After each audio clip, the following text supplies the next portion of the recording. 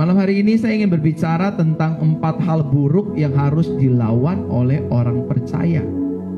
Orang percaya harus melawan empat hal buruk ini.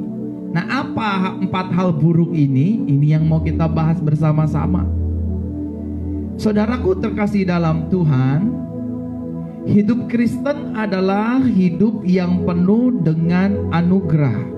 Sama-sama katakan dengan saya bahwa hidup Kristen Semuanya sama-sama katakan dengan saya, hidup Kristen adalah hidup yang penuh dengan anugerah.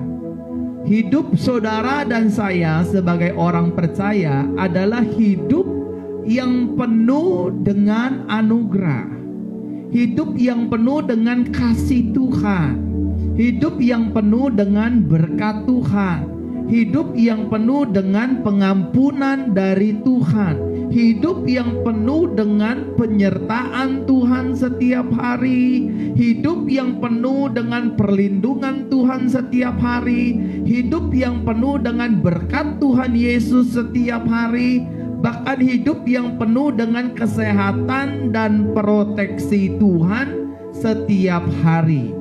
Oleh karenanya, Bapak Ibu Saudaraku terkasih dalam Tuhan, saudara dan saya, siapa pun kita, apa pun latar belakang kita, apa pun status kita, hidup kita penuh dengan anugerah Tuhan. Yang setuju katakan amin. Anugerah Tuhan dikatakan demikian seperti pujian ini. Selalu baru tiap pagi, baru tiap hari, besar setiap Diammu Tuhan selalu baru tiap pagi. Oh baru tiap hari Besar setiamu Orang boleh tidak suka dengan hidup kita, orang boleh tidak suka dengan pekerjaan kita, orang boleh tidak suka dengan pelayanan kita, orang boleh memusuhi kita, orang boleh merencanakan yang jahat tentang kita, orang boleh merekayasakan yang jahat atas hidup kita. Hidup kita tetap hidup di dalam anugerah Tuhan Yesus Kristus setiap hari. Amin Bapak Ibu. Hidup saudara dan saya dipenuhi anugerah Tuhan setiap hari. Waktu kita bersalah Tuhan mengampuni kesalahan kita Waktu kita tersandung di dalam dosa Darahnya yang sudah tercurah 2000 tahun lalu Di atas Kalvari Mengampuni, menguduskan, menyucikan kita. Waktu kita tidak punya uang Yesus melalui anugerahnya Memelihara kehidupan kita.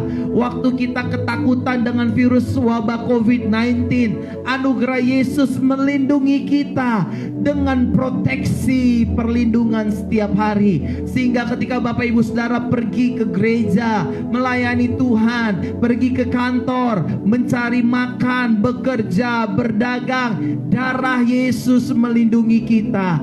Anugerah Yesus melindungi saudara dan saya.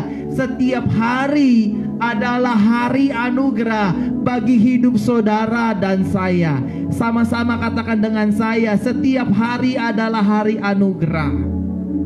Amin, saudara.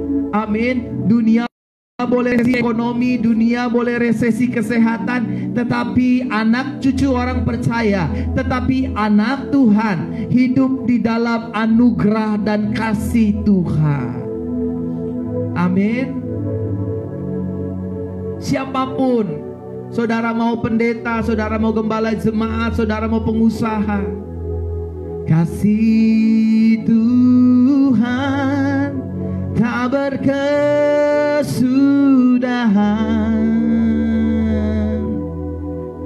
tak habis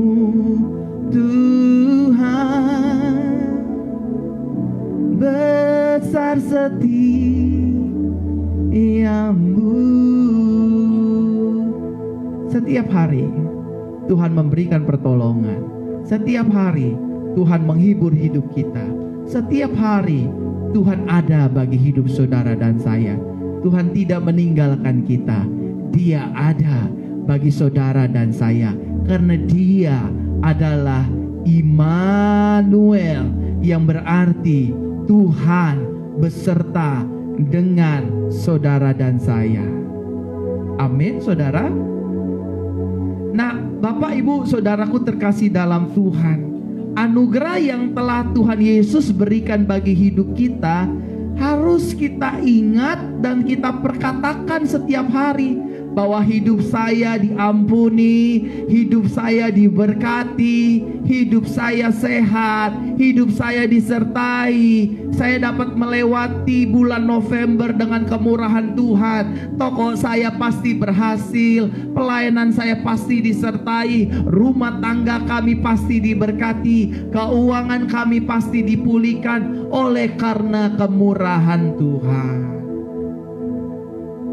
Oleh karena kemurahan Tuhan ku ada sampai hari ini.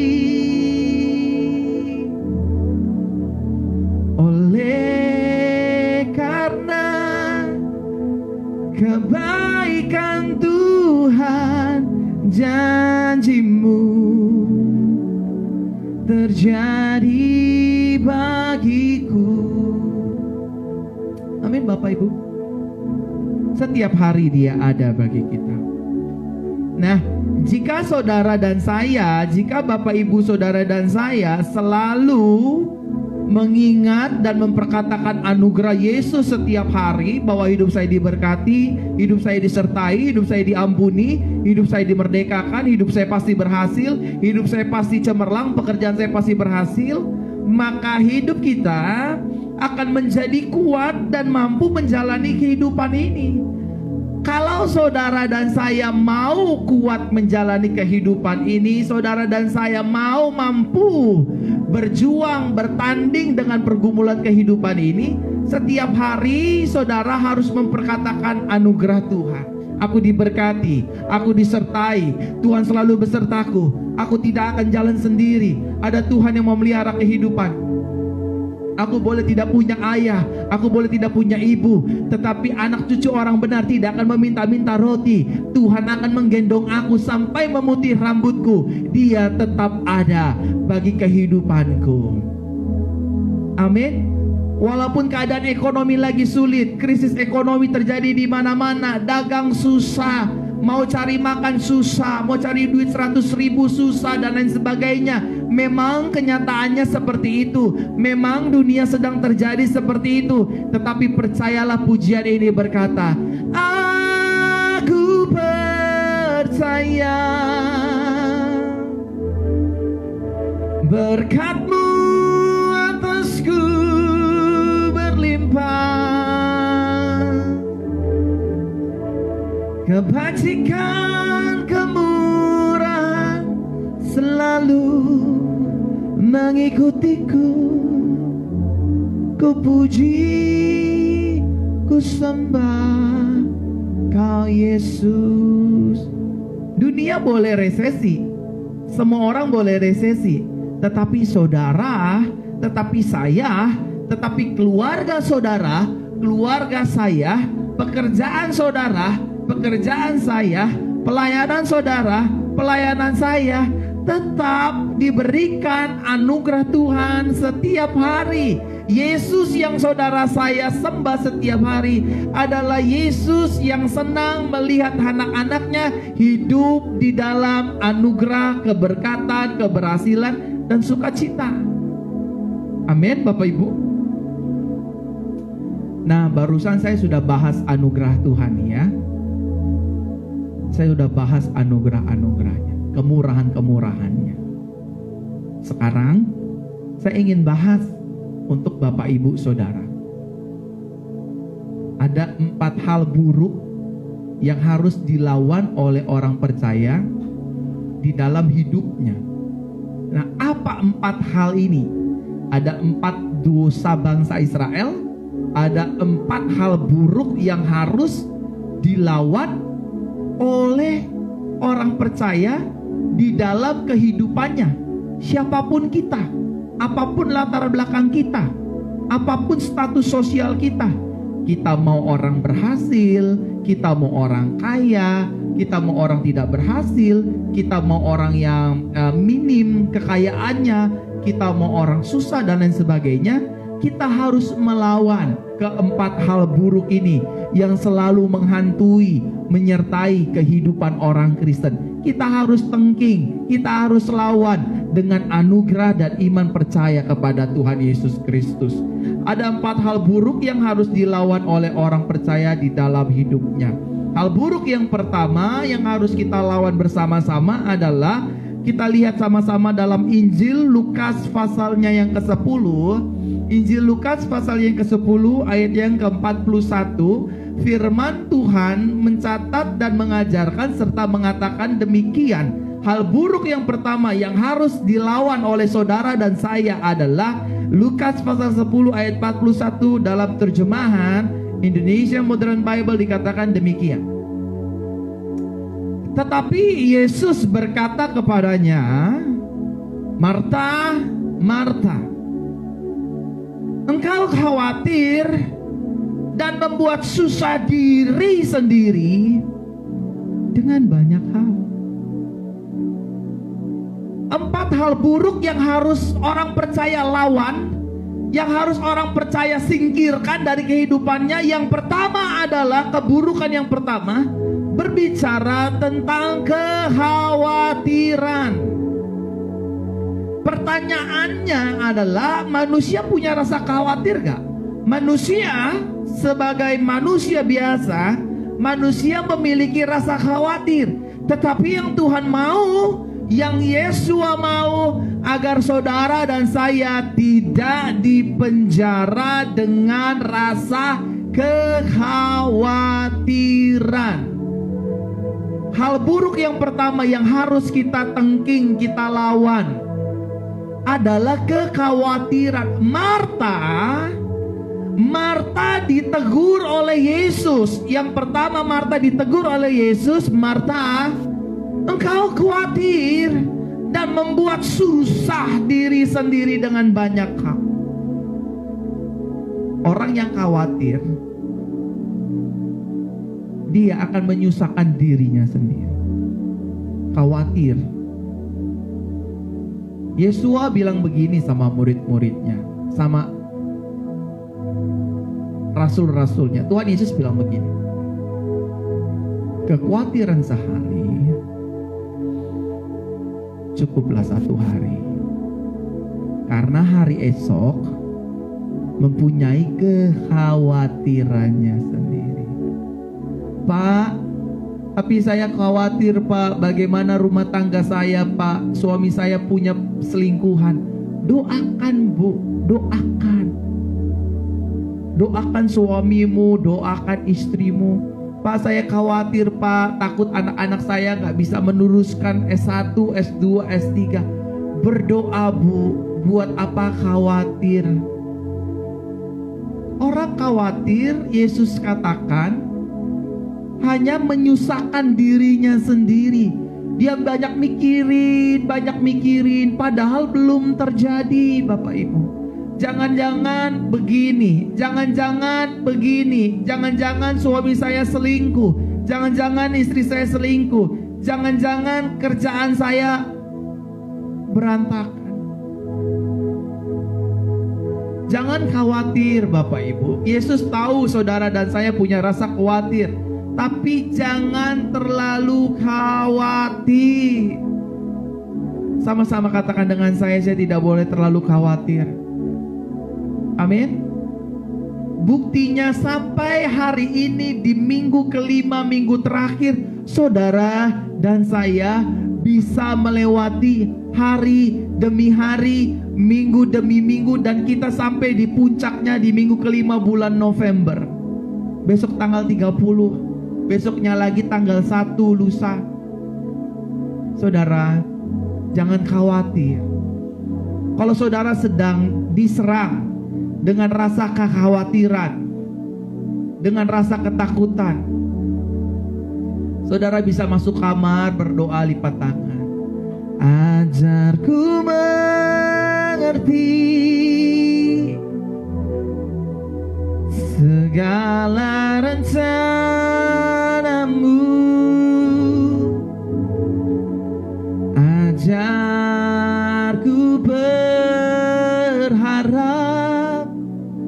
Amin Bapak Ibu?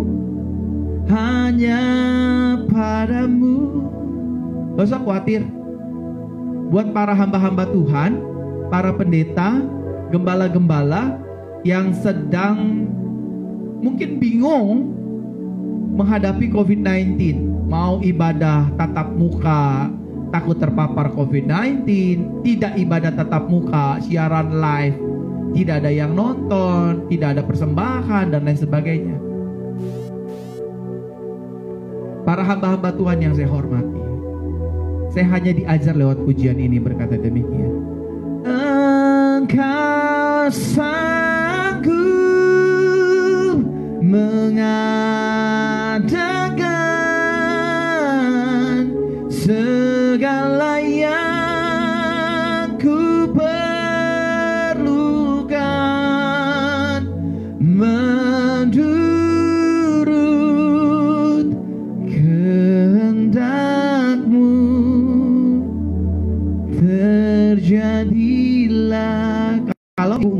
khawatir sakit nyium ibu bisa sembuh.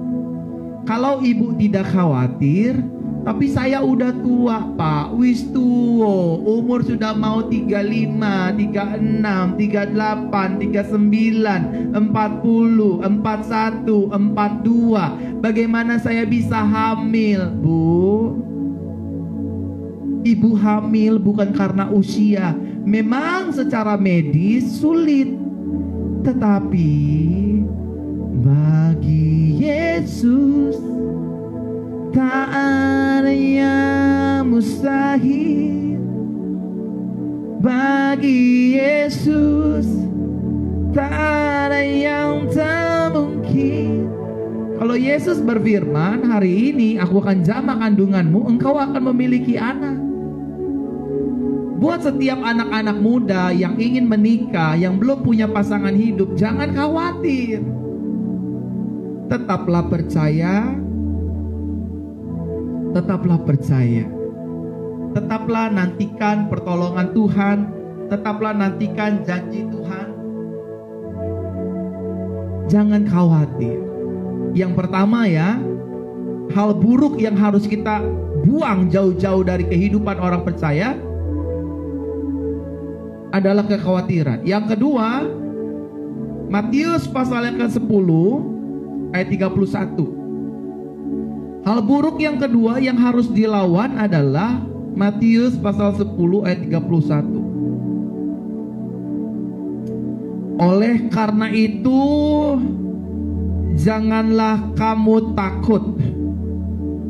Kamu lebih berharga dari banyak burung pipit.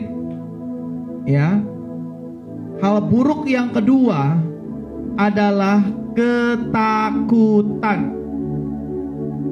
Saya mengerti resesi ekonomi di mana-mana. Saya mengerti resesi kesehatan di mana-mana. Saya mengerti cari uang sekarang susah.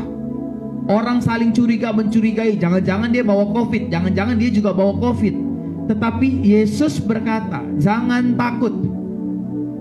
Kalau saya yang mengatakan jangan takut, Anda pasti takut, saya pasti takut. Tetapi ketika Tuhan Yesus yang berkata, "Jangan takut, lawanlah ketakutan dengan damai sejahtera dan anugerah Elohim, dengan anugerah Yesua, dengan anugerah Yesus." Jangan takut, saudara. Maksudnya jangan takut di sini itu adalah ketakutan yang berlebihan. Jangan-jangan saya nggak sembuh nih. Jangan-jangan nanti usaha saya tidak berhasil, padahal belum memulai usahanya. Jangan-jangan dagangan saya belum laku, jangan-jangan dagangan saya tidak laku, padahal belum memulai. Saudara, jangan takut. Saudara dan saya punya Tuhan yang hebat, punya Tuhan yang perkasa, punya Tuhan yang penuh anugerah, punya Tuhan yang selalu menyertai, punya Tuhan yang selalu mendengar doa, punya Tuhan yang hebat namanya Tuhan Yesus Kristus. Yang pertama yang harus kita singkirkan dalam hidup kita adalah kekhawatiran. Yang kedua yang harus kita singkirkan adalah ketakutan. Manusia punya rasa takut, tetapi Yesus nggak mau manusia ketakutan. Karena ketika kekhawatiran dan ketakutan sudah mulai membelenggu dan memenjara hidup kita, kita nggak bisa berbuat apa-apa. Bapak Ibu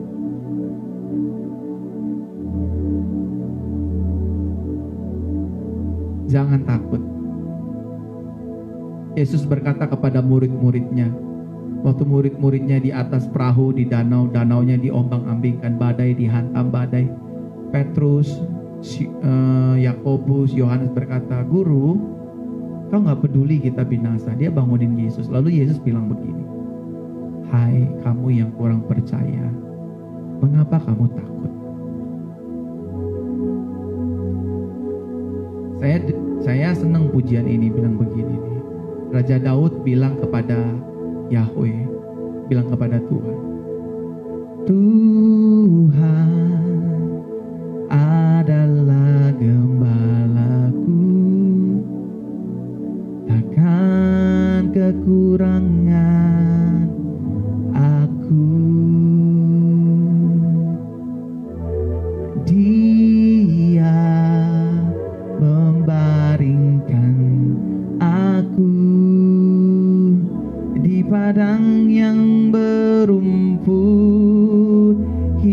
down.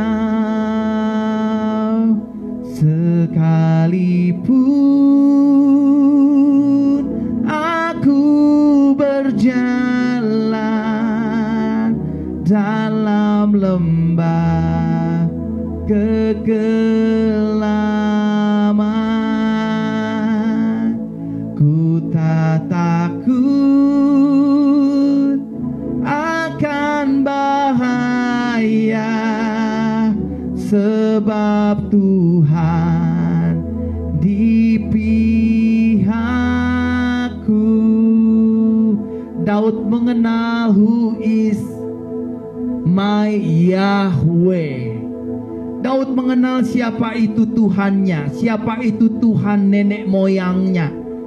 Yahweh Abraham, Ishak dan Yakub. Daud kenal betul. Daud tahu sekali. Saudara, perkataan nenek moyang Kristus yaitu Daud diucapkan kembali oleh Yesua. Jangan takut. Lagunya enak ya saudara. Lagunya enak. Sekalipun aku berjalan dalam lembah kekelaman ku tak gentar akan bahaya karena Yesus besertaku Amin Bapak Ibu Hal buruk yang ketiga Hal buruk yang ketiga yang harus dibuang dari hidup orang Kristen. Jauh-jauh. Jauh-jauh hal buruk yang ketiga. Kekhawatiran, ketakutan, dan hal buruk yang ketiga. Yesaya 41 ayat 10. Yesaya pasal ke-41 ayat ke-10 dikatakan demikian buat Bapak Ibu dan saya tentunya. Dikatakan demikian firmannya. Jangan takut karena aku bersamamu. Janganlah bimbang karena akulah Elohimmu. Aku akan menguatkanmu. Ya, aku akan menolongmu. Aku akan menopangmu dengan tangan kanan kebenaranku. Yang ketiga yang harus dibuang dari kehidupan orang Kristen, orang percaya adalah kebimbangan. Kebimbangan harus kita buang jauh-jauh. Kekhawatiran, ketakutan, kebimbangan buang jauh-jauh. Mungkin ada di antara saudara bertanya, Pastor, apaan sih itu artinya bimbang? Bimbang bisa diartikan ragu-ragu dan juga tidak tetap hati, nggak tetap hatinya gitu. Saudara kalau sudah berdoa sama Tuhan, ingin melangkah, ingin buka usaha, ingin memutuskan dirinya untuk menjadi seorang full timer, seorang pendeta, seorang hamba Tuhan, jangan bimbang, maju sama Tuhan. Mumpung Tuhan percayakan. Kalau saudara dipercayakan untuk buka usaha, buka bisnis, dagang jengkol, dagang gado-gado di pasar, dagang ayam di pasar, jangan bimbang, maju bersama dengan Tuhan Yesus. Doa sama Tuhan. Jangan bimbang. Kalau saudara udah mantep, udah mantep nih, ini kayaknya suami calon suami saya, ini calon istri saya. Doakan, melangkah, jangan bimbang. Ingat, yang namanya pernikahan berkatnya selalu datang dari Tuhan. Karena kenapa gini?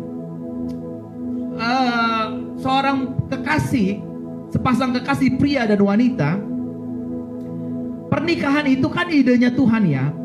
Kitab kejadian bilang, aku akan memberikan penolong. Setelah diberikan penolong, di, di, dijumpailah Adam dengan Hawa. Berjumpa. Setelah mereka berjumpa, Tuhan atau Yahweh memberkati mereka. Aku memberkati mereka.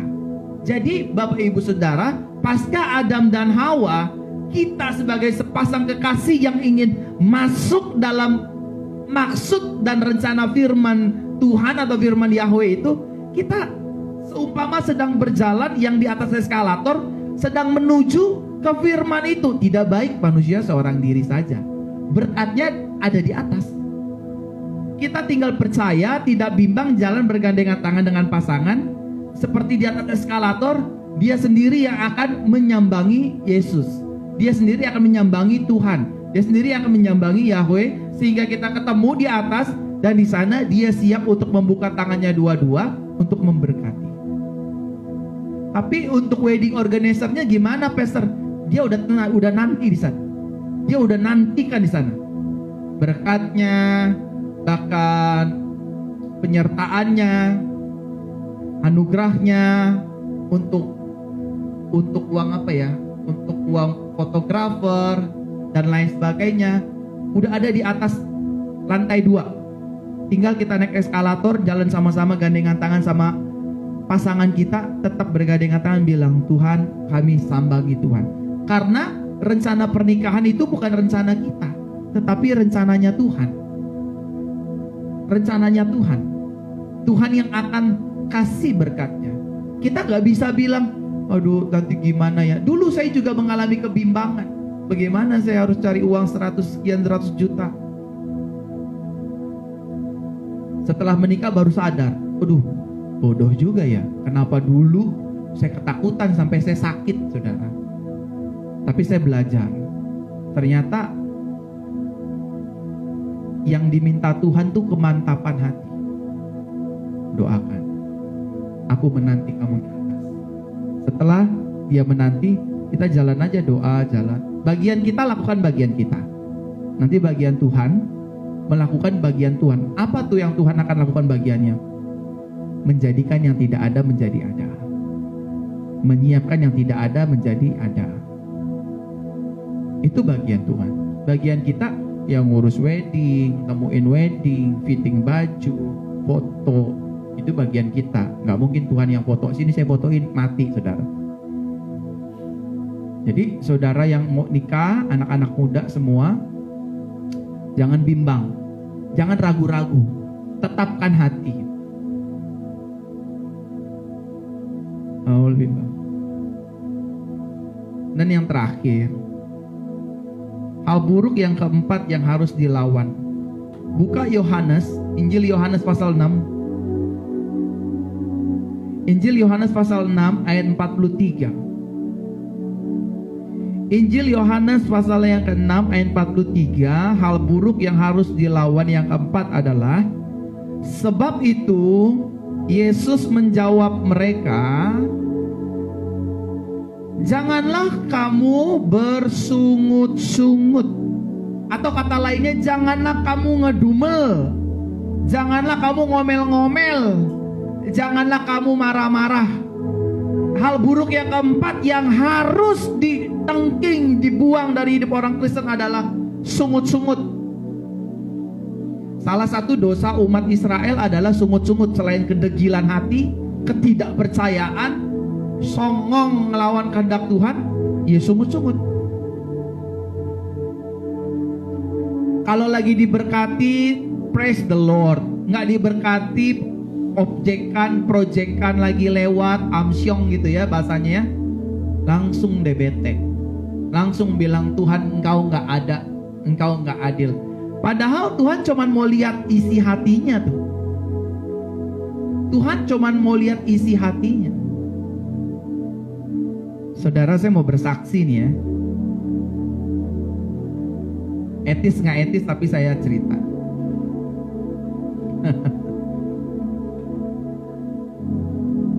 Beberapa kali saya diberkati, cuman nggak banyak sih nilainya. Beberapa kali saya diberkati oleh jemaat memberkati saya uang, tetapi dia salah transfer transfernya bukan ke rekening saya, uh, ke rekening pribadi istri saya, tapi dia transfernya ke rekening gereja Jesus Christ Church. Waktu dia transfer ke rekening gereja Jesus Christ Church, bapak ibu saya nggak bisa ambil. Dan saya juga nggak boleh sungut-sungut. Istri saya membiarkan, saya juga membiarkan. Dan saya percaya berkat Tuhan lah yang menjadikan kita kaya bukan berkat itu. Jangan sungut-sungut saudara. Aduh dagangan saya lagi sepi, terus marah-marah, ngomel-ngomel, ngedumel. Jangan. Dulu saya pernah jaga toko voucher pulsa Bapak Ibu di pinggir jalan. Waktu itu saya masih ingat saya jagain toko orang counter counter pulsa di pinggir di bawah lampu merah bayangin sudah sedih sekali bapak dan saya selayaknya seperti tukang buah bapak ibu. Voucher voucher voucher voucher. Di depan sekolah. Sekolah Kristen orang pada bubaran saya jual pulsa. Pulsa, pulsa, pulsa. 5 ribu, 10 ribu, 25 ribu. Panas. Harus dorong-dorong etalase. Ngelapin etalase. Harus jualin Saya punya bos bapak ibu Datangnya siang Waktu datang ke counter Dia isap ganja mabok sama teman-temannya.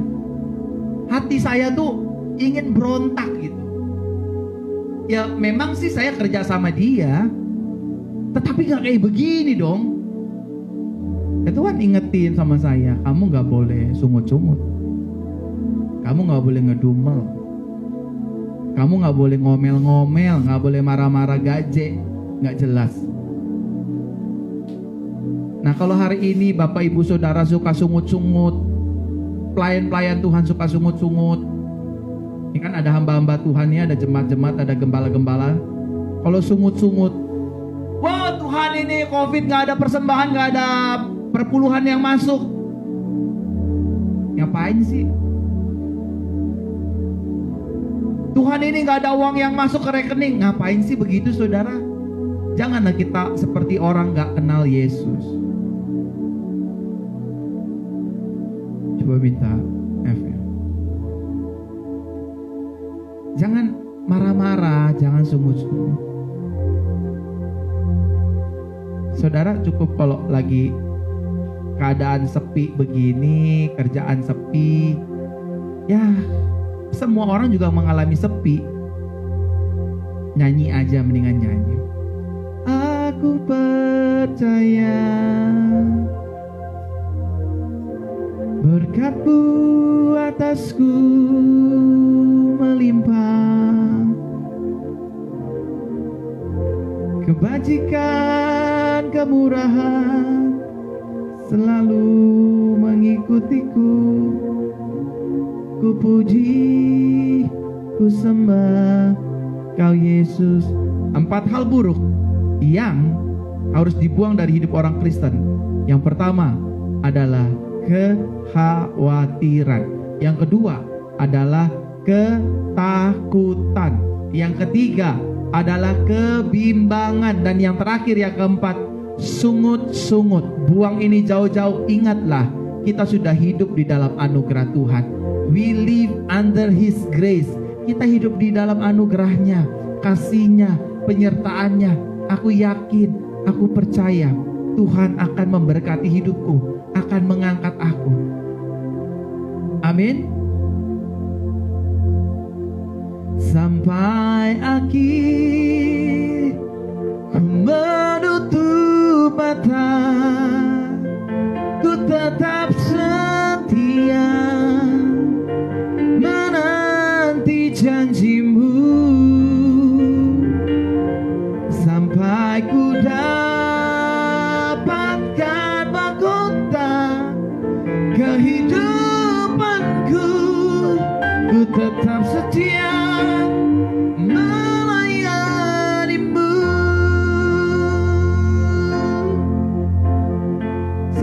kepada Yesus.